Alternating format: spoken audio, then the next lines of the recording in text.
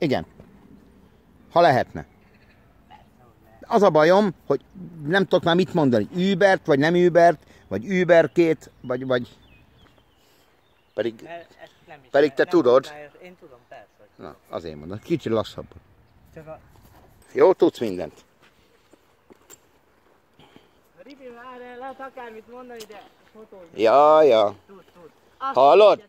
Tehát csak kényelmesen megyünk, leizélni, jobb bokáj, vagy a bal bokáj pindurkát több, de olyan kis picikét van föltelve, semmivé. De mondom, de egész a disztancig menj el, és erdő körül séta.